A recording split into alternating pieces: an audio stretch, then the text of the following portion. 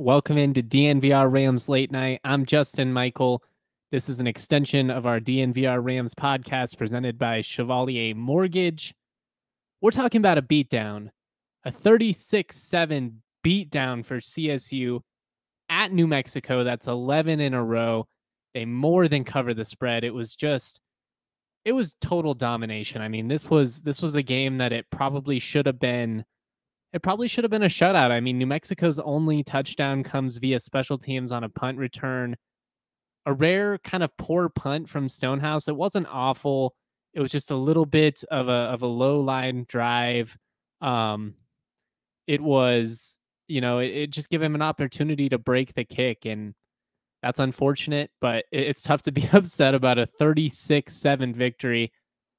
All things came up CSU in this one. I mean, 452 total yards to 69 total yards for New Mexico. This was just an absurd disparity in this game. And, and really, I mean, when you consider the fact that Cayden Camper had five field goals in this one, this very easily could have been you know, like a 50, 60 point night for CSU. You know, it was it was really that type of beatdown. You know, it could have been like 50 to 0, which is crazy. I mean, it's crazy that CSU's been able to just consistently dominate New Mexico. Now, obviously, there've been some close ones. History says that this game tends to be, you know, a three-point game or a blowout and rarely rarely ever anything in between. But I don't know. I just I was really impressed with the way the Rams came out tonight. I thought this was a big prove it game for them. It felt like a little bit of a trap game just in the sense that you're coming off of a really high moment after absolutely dominating San Jose State the way that the Rams were able to do at home last week and you're going against a team true freshman quarterback. You'd beaten them 10 straight times like that's classic letdown opportunity and CSU they took care of business. Now, it wasn't perfect. We'll get into that. You know, too many, too many penalties. We got a great comment here from Nicholas Toffelmeyer. I hope a freshman quarterback gives a top 40 defense bulletin board material every week. And I'll I'll talk about that more later. But that that was wild. If you're if you're unfamiliar with the situation, Montez, the uh, true freshman quarterback for New Mexico, he said some wild stuff before this game, just being like, "We're gonna blow them out. We're gonna be able to run all over them."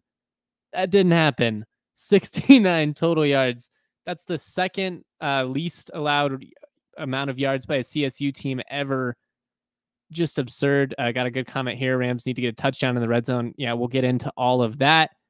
The red zone in general, I mean, it's it's left a lot to be desired. I think they've gotten a little conservative at times. I don't hate it. I just you got to be able to score some points there. There's going to be a game this year where if CSU continues to rely on the field goals, it, it's really going to come back and, and bite them in the butt. I mean, you got to be able to capitalize. But again, 36 7 win. How do you really feel that upset about that? I mean, it, it was domination and in every sense of the term. Uh, before we keep the instant reaction going, I do want to shout out our friends over at Chevalier Mortgage. Their ultimate goal is to take the stress out of buying and refinancing.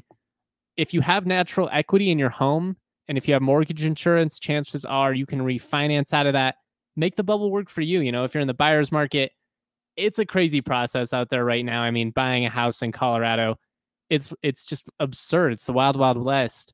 Let Mike and Virginia Chevalier take the burden off this extremely difficult process. They're going to alleviate so much stress, take some of that worry off your plate. They actually have a fun perk for DNVR members. If you go to dnvrmortgage.com, you can enter to win a free DNVR shirt or hat of your choice. Most of all, you are going to get set up with a free consultation to discuss all your options. That's dnvrmortgage.com. We have so much love for them. If you want to call Mike directly, you can at 970 412 2472.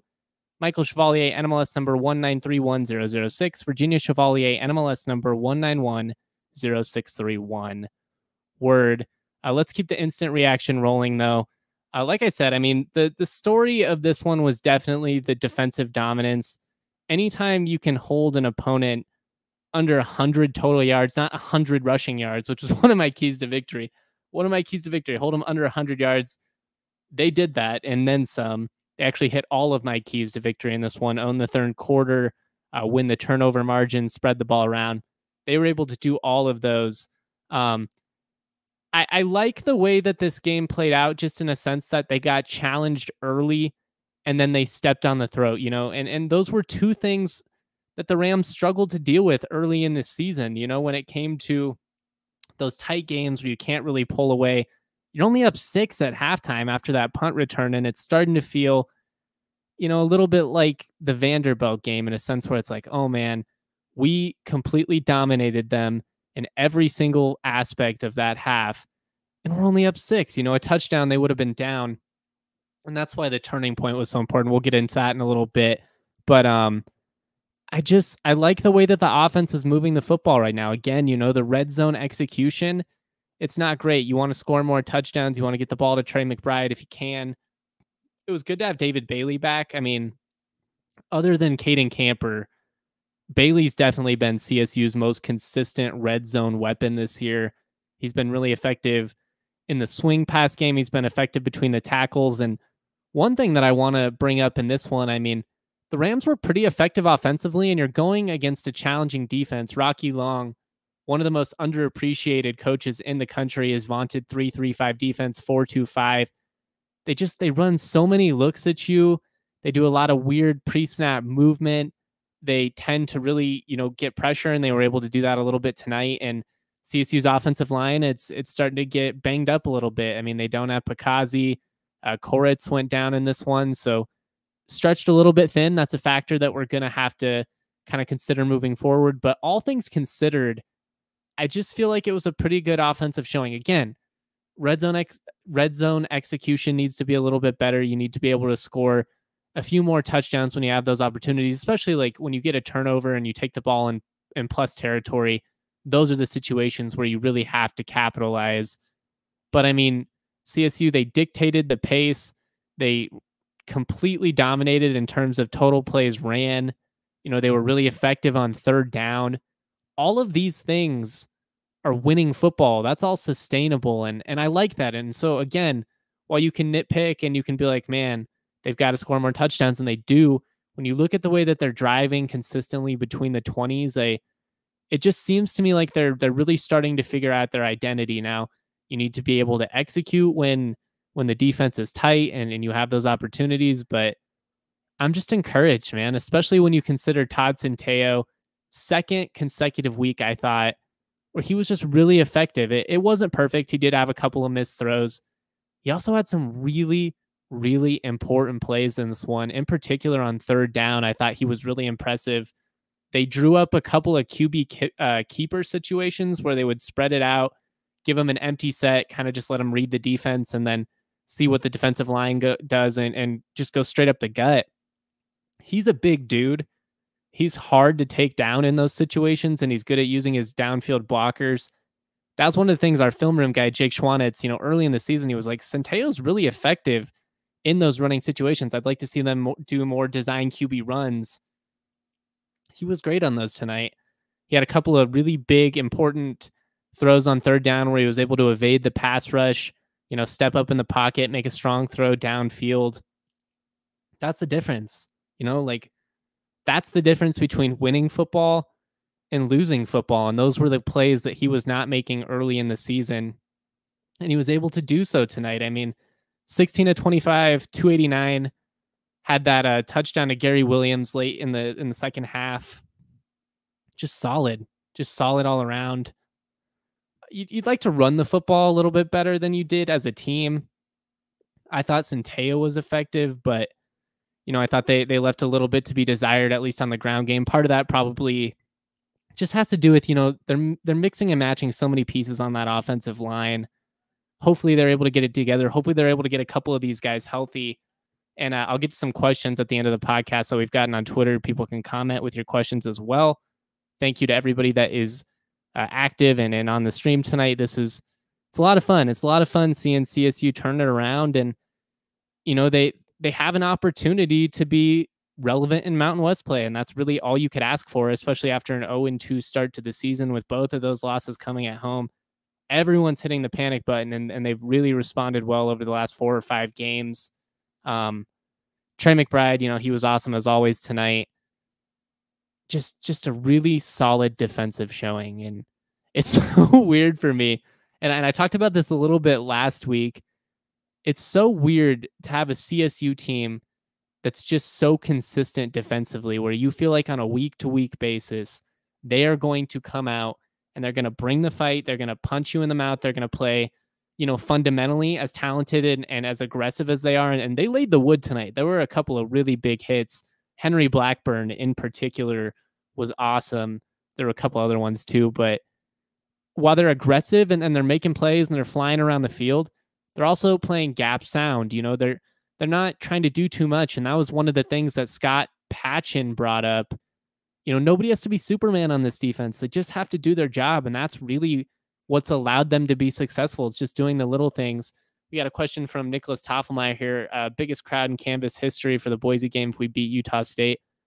I would like to hope so. I mean, I said it last week. If you win these next two, that should absolutely be a sellout. We'll see what's happening. Boise State and Air Force coming down to the wire. It's late tonight. We'll we'll go over the rest of the league. But yeah, I mean, why not? You, you started the season slowly, and as it stands, you're leading the Mountain Division. I mean, if you win out, you would go to the Mountain West Conference Championship game, and and none of what happened in non-conference play would have mattered. You know, the the slow start. Obviously, at that point, you're probably kicking yourself, thinking, "Man, if we didn't blow that Vanderbilt game, you know, maybe we're gonna gonna be in a big national bowl or something." but at this point, I think the goal just has to be to to reach the postseason, and right now, that is a realistic target for this team. It's going to be tough. We're getting to as tough as the beginning of the slate was the the conference schedule is about to get real brutal. This trip to Utah State's not easy, but you know after that Boise State, Air Force, Wyoming, that three game stretch is is never fun. And then you still got to go to Hawaii, which is always just wonky given the kickoff times and it's a weird atmosphere and you worry about jet lag. And then obviously you close out against Nevada, who's one of the best teams in the league, but we'll see what they have to play for at that point. I mean, that could be a situation where CSU needs their sixth win, or maybe they need their seventh or eighth win. We'll see. And if Nevada doesn't have a whole lot to play for, like if it's clear San Diego State is going to go to the Mountain West Championship game, then you know maybe CSU wins a weird one at home in the cold. It's going to be a November night game. I like the way this is playing out. I like where CSU is sitting right now. And I just I like that they have an identity on both sides of the football. Again, it's it's not perfect on offense. They they got to execute better in the red zone. You know, we still need to see Centeio deliver in the passing game more consistently down the line. Um, but I, I think with the way that they're running the football, at least, you know, especially early in the games, they're kind of facing some stack sets here in the second halves of these ones after they get up. But it's very encouraging. It's very encouraging the way Centeio's making smart decisions with the football. They're finally connecting on some stretch plays.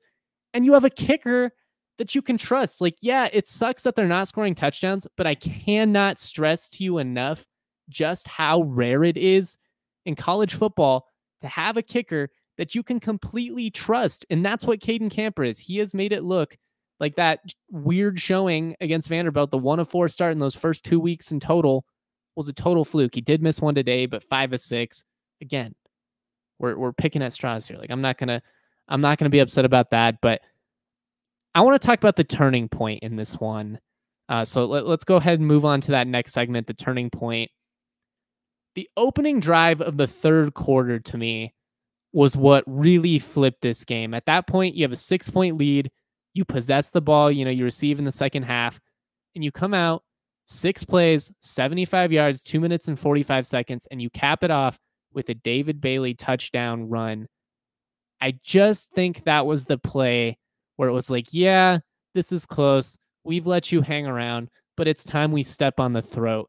And that's that's what the Rams did in the second half. They forced two more turnovers, finished plus three in the turnover margin today. Really excellent. And and and just a big momentum play. Like if you win the third quarter, a lot of the time, it's obviously not a guarantee. A lot of the time, you're going to be able to win the game because it means you're adjusting better on the fly than them. It means you're probably controlling the matchup going into the fourth quarter. Now, again, numbers can be de- deceptive if you're down 30 or something and then you win the third quarter 10-0 and you still lose, you know, 50 to 10 or something. That that can happen, but a lot of the time, especially in a tight game, the third quarters are really an indicator of who's going to come out on top. And it had been that way for CSU. They'd they'd held their opponents to mm. zero points in the games they'd won, was, and they'd been outscored a bunch, like 42 to zero in the games that they'd lost in the third quarter. So I just I think I think that was the the turning point in this one. And Steve Addazio and, and David Bailey, they both mentioned it post game as just kind of that transcendent moment where the game started to, to change. Got a comment from Nick Reese here. Crazy that there's a possibility the Ram Falcon Trophy might determine the Mountain Division. It very well might. Like, I don't want to get too ahead of ourselves again. Utah State, Boise State, these next two weeks, we're going to learn a lot about CSU. How do they respond you know, now you're 500 for the first time this season. You control your own fate, which is a position that CSU has not been in since 2017. Um, so again, you know, we don't want to get, we don't want to start feeling ourselves too much, but they got a shot. There's no reason to believe that the Rams aren't at least going to be in the conversation based on what we've seen in Mountain West play. And especially if you look at the things that they did well in non conference play. I mean, they're a bad third quarter away against Vanderbilt from being four and two right now. And if they were, I just I can't help but think how different the the complete tone of the fan base would be. I mean, even so, I think people are still skeptical, especially with the the lack of touchdowns in the red zone and you know letting UNM hang around for a little bit. I think people are are still a little bit skeptical, and that's fair. But I just I think they're playing a, a solid brand of football, and and in, in that second half, especially starting with that first drive that that touchdown drive, I felt like they took the air out of UNM at that point, and it was just kind of like, yeah, you know, you've been in it, but it's clear that one of these teams is significantly better, and because of that, my DraftKings King of the Game goes out to David Bailey, CSU's running back. Good to have him back out there. There were actually no uh, photos available on USA Today from tonight's game. That's why we had to use a different one. But shout out to my main man Yahir for that dope graphic. 21 carries, 58 yards, two touchdowns. I thought about giving it to Cayden Camper, another 15, uh, 17 points, I guess, tonight, 15 points off field goals, uh, two points off the extra points. But I just think David Bailey's so important. It, wasn't the, the most explosive night in the world. Again, I think some of that had to do with what UNM was running against them in the second half and, and being a little bit thin along the offensive line. But just having a running back that you can lean on and and and especially in the red zone, uh, you know, getting back to it. I know we're kind of beating a beating a dead horse here, but he's been so solid, and it was really good to have him back. Uh, Jack Bailey, CSU was at the point where I think they could beat CU. I'm pretty confident. Yeah, I mean that was posed to me on Twitter, and, and I know we're kind of all over the place tonight with me answering questions and you know keeping it going. But I think this is a lot of fun. Thinking everybody, you know, keep commenting. I'll keep answering. Um, you know, I I don't want to always compare CSU to CU as a determinant of whether the Rams are relevant or whether they're good or not. You know what I mean? Yeah, I, I think CSU would beat CU right now. I'm confident saying it. But also I'm just kind of like, who cares about them? Yeah, they shut out they shut out Arizona today. They're probably not going to win another game for the rest of the year. So right now I think the focus just needs to be on CSU. And I I can get wrapped in, up in this as well especially, you know, everybody at DNVR, there's a lot of Buffs people. You know, when the Buffs are winning, they're letting me hear it. And, you know, my whole life I've had to deal with the whole, you know, CU fans walking around like we're not worth their breath, you know, CSU not even worth their time a day, you know, the lowly little brother, lowly little Rams. But again, they, they've got their own shit to deal with. And um, they got to win today. I'm glad for Henry, but, you know, they're, they're going to be watching a lot of other teams while they're sitting at home. And so we can just kind of let them have their misery and we can just kind of enjoy our good moments. That's the way I'm going to look at it. I am going to try and bring up CU as little as possible for the rest of the season, legitimately, because who cares? Who cares about the Buffs? They didn't want to play CSU. They're going to win two games, maybe three if they're lucky. They're completely irrelevant in the Pac 12. And we can play other big teams. Like, I, at the end of the day, I always would rather have a Rocky Mountain showdown because I think that rivalry is good for the state of college football. I think it's good for just keeping people interest, you know, general interest levels in in both schools and the rivalry as a whole. But since they're gonna play that way and you know act like they're too good for CSU, you know, let them be irrelevant and let's let's not even waste our breath on them. Let's flip the script. Speaking of uh, DraftKings Sportsbooks, though, since we just gave out the DraftKings King of the Game, another week of the NFL season means another shot to win big at DraftKings Sportsbook. They are an official sports betting partner of the NFL. And this week, if you bet $1 on any NFL game, you can win $100 in free bets if either team scores a point. Last 0 0 tie, that was in 1943. So it's a no brainer. DraftKings customers can also get some skin in the game with the same game parlay. Combine multiple bets for a same game and a bigger payout. The more legs you add, the more money you can win. Safe, secure, and reliable, so you can deposit and withdraw your money whenever you want. Download the top rated DraftKings Sportsbook app now. Use promo code DNVR when you sign up. Bet on any NFL game this weekend. Win $100 in free bets if either team scores a point. That promo code DNVR this week at DraftKings Sportsbook, an official sports betting partner of the NFL. Must be 21 or older, Colorado only, new customers only, restrictions to apply. See DraftKings.com slash sportsbook for details. And if you have a gambling problem, call 1 800 522 4700. All right. Sorry about that. Allergies are absolutely killing me. Been so phlegmy lately. I don't know about you guys. Not a lot of fun. Um, yeah, man, this was just dominant. And and we're gonna talk about the the rest of the Mountain West. We're gonna get into really this whole game. Uh, but I want to play brews for you because there there's just a lot of good to talk about in this game. If you're unfamiliar, this is a hypothetical exercise. I want to make that really clear. Um, I'm really worried about that. Eric always makes fun of me because he's like, "Who cares? It's just a game." But gets all weird with the NCAA, you know, people being legal drinking age and all that. Regardless, I'm starting with the broadcast crew. This they get no duel. This was a terrible, terrible broadcast. The commentators were fine. It had nothing to do with the the TV, you know, the play-by-play guys. Shout out to my guy said Bonner. The cameras, man. The first play of the game, they lose it in the glare, and I'm just sitting there like, are you kidding me? There's high school broadcasts that have better production value than this. It was really disappointing. Really disappointing. The fact that you're a division leader and and you want to know who else gets an O'Doul? The Mountain West and Craig Thompson for not going to their TV partners. There's not even a football game on FS2. It's like a dog thing. And this game is on Watch Stadium. I'll give them credit. It, got better as it went on after a really rough start. Early on, I was like genuinely pissed off. I was like, I, I can't believe that this is what this game is going to be on. But man, can we get it together, please? please like there are high schools in texas that would be laughing at the mountain west for the quality of that broadcast and i'm not trying to like throw a tantrum or anything like that but it's true it's just embarrassing it's a bad look for the mountain west and to me it's it's a perfect example of i'm glad that they had this deal with fox sports but you should also have a regional deal why is at&t sportsnet out on the mountain west now you know this is perfect when you have like a Drew Goodman game.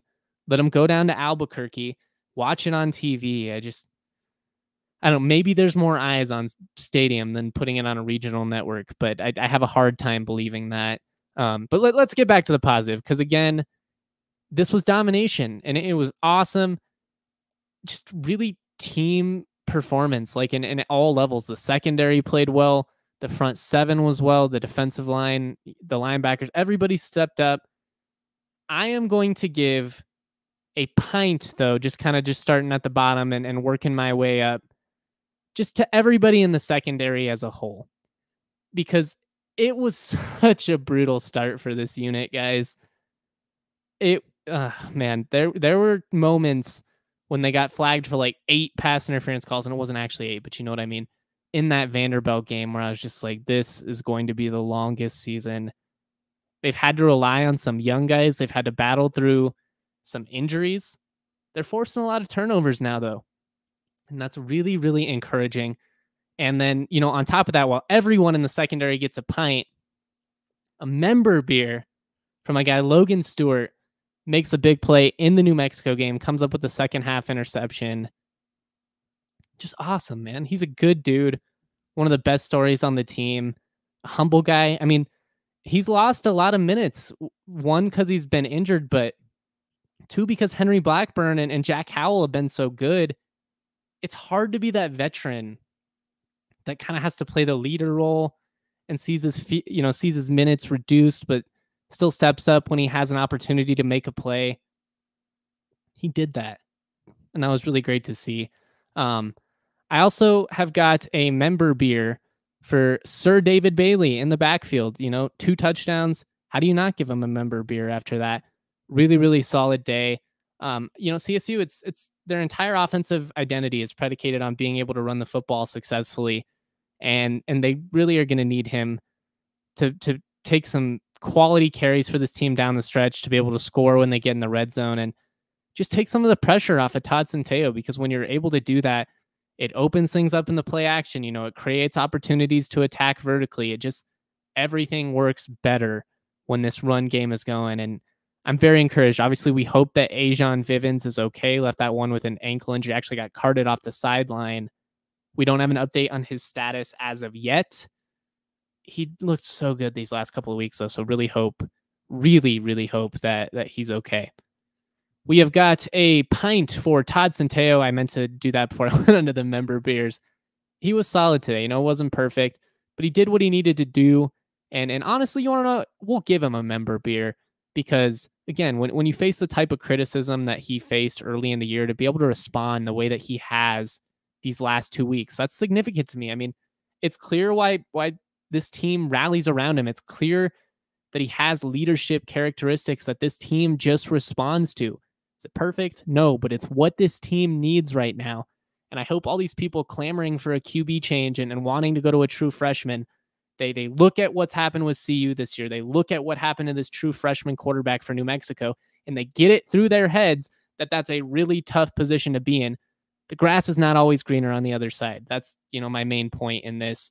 We have got a member beer for Mr. Scott Patchan, three tackles for loss, two sacks, absolutely wrecking shit in the in the trenches. He has been so solid. Oh man, we got a live update. Boise State. Does anybody recover more onside kicks than Boise State? 47 seconds left in the fourth here. I'll throw it on in the background here. Um, that's not a very good broadcast. So I'll just I'll see what happens after. Dang, I hate when there's a good game. That's how it goes though. Sometimes that's how it is. Um, Henry Blackburn though, seven total tackles as well, four solo. Had the the biggest hits of the night that I can remember. I mean, he he was money in this one. He was really money. And it's encouraging to see guys like him and Jack Howell stepping up, making plays. That looks terrible. I'm gonna shut it off. Um, they're gonna need them to do do it more down the line. And it's just been one of the biggest bright spots for CSU.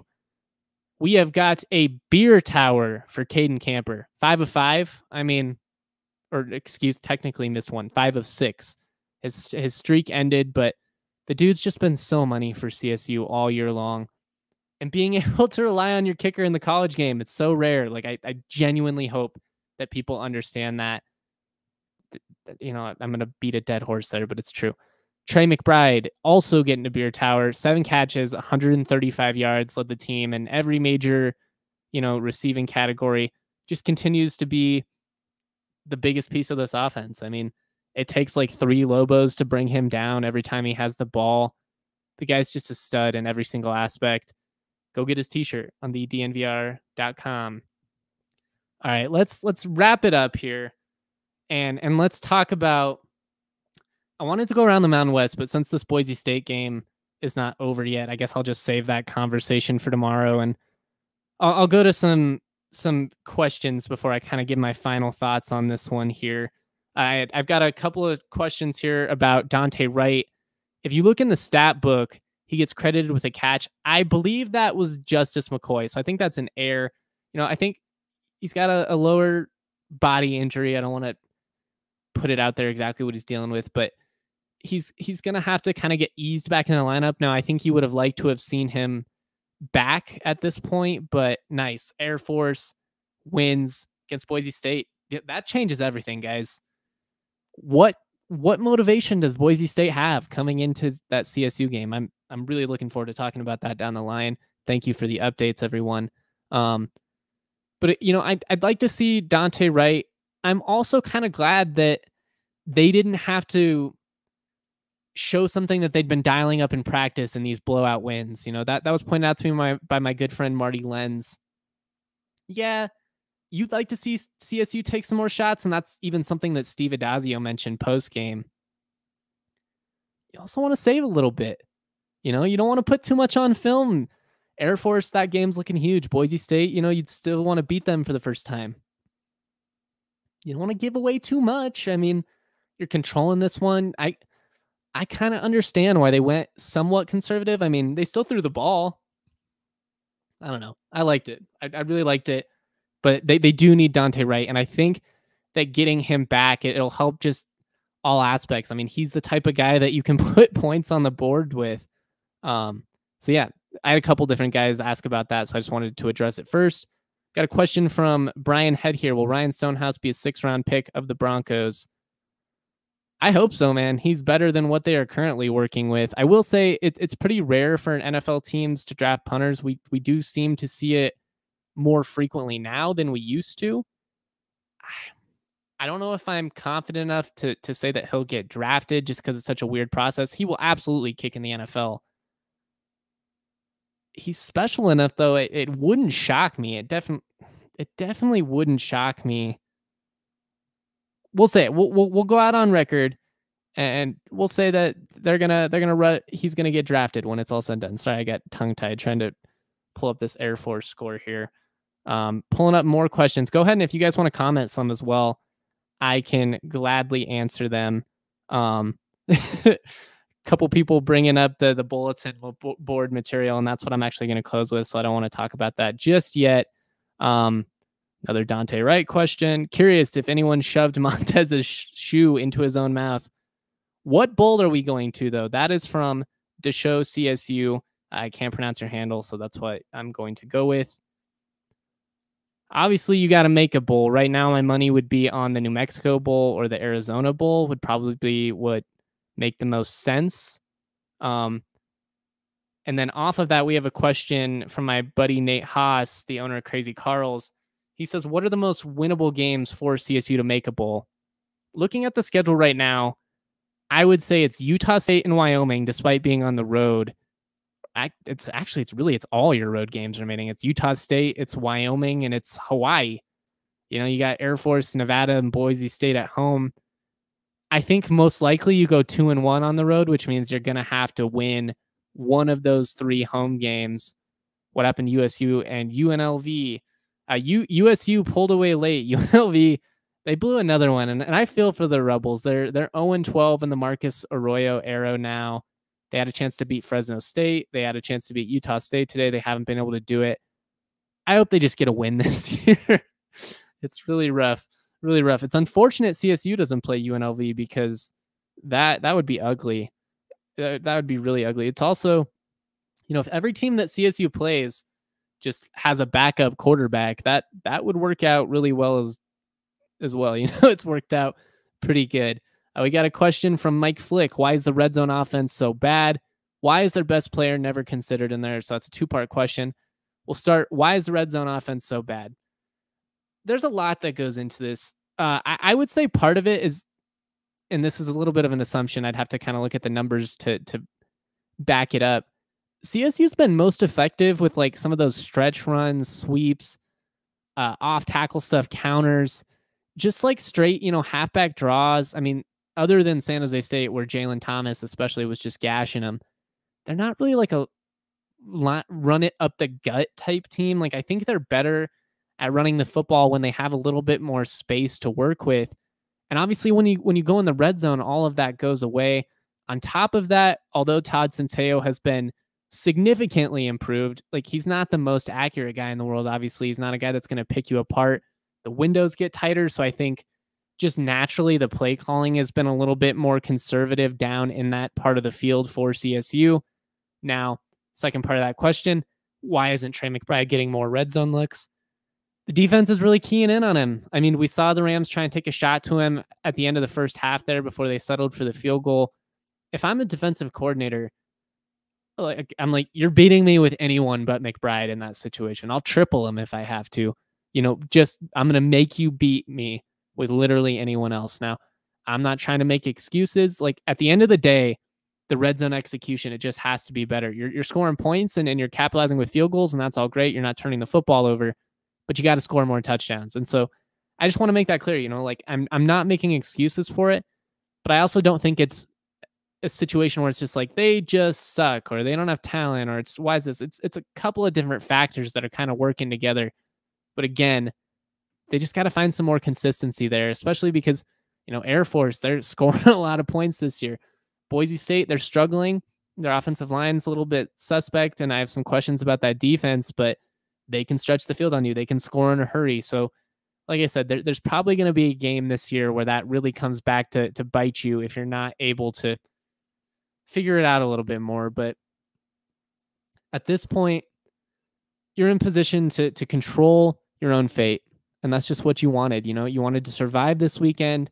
A little bit of a trap matchup, but you do your thing. And uh, I, I think CSU fans should really be stoked, despite the fact that, you know, there's some little things you can nitpick. They missed a couple of shot plays. There were way too many penalties. If this was a closer game, that could have definitely come back and hurt them. I mean, UNM, they, they got more yardage from CSU penalties than their offense was able to move the football. So that's a problem. But I just, the intensity, the consistency, the decision making, the execution on both sides of the football, it's, it's really encouraging. Um, but my my last call here, and this is just going to be my final thoughts for we before we go. Thank you to everybody that's been on the show tonight. We will be back to having guests in the future. Had a little bit of a, a scheduling slip up today. Our, our guest kind of bailed at the last second. It's okay though. This has been a lot of fun. My last call though, I just I want to talk about the bulletin board material. It was the first thing that Scott Patchan brought up post game. David Bailey mentioned it as well this young freshman quarterback for New Mexico, I don't dislike that he was confident. I mean, you don't want him to sit there and be like, we're going to lose or something like that. But to go out and be that bold with your statement, especially when you consider what CSU has done in the trenches, how good that front seven has been, for him to just come out and be like, we're going to blow these guys out that was that was a teaching moment. And and I know that he played in the Snoop Dogg League. I know he, you know, he thinks he's hot shit and all that, and he's been in the moment, but he he was writing checks that his ass could not cash. And the Rams humbled him real quickly tonight. And that was fun to see. Like, I'm glad that the CSU players post game came out and they said, You want to know what? It pissed us off that they said that because they could have done the coy thing, you know, the football speak, you mm. know, be polite and just no, you know, we we don't we don't get it too into that.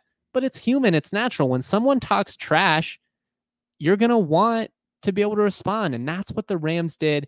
They came out, it was tight early. Like I said, this game tends to be a three-point game or a blowout, but they stepped on the throat. They executed when they needed to most. They took care of business. Now you're in the driver's seat. Now you have a very winnable game at Utah State. It's a tough game, one of the more tough places to play Maverick Stadium's a, cool atmosphere. If you can get out there, I highly recommend it. Beautiful view. The students are right down on top of the field. It's real intense atmosphere. They've got good fans as well.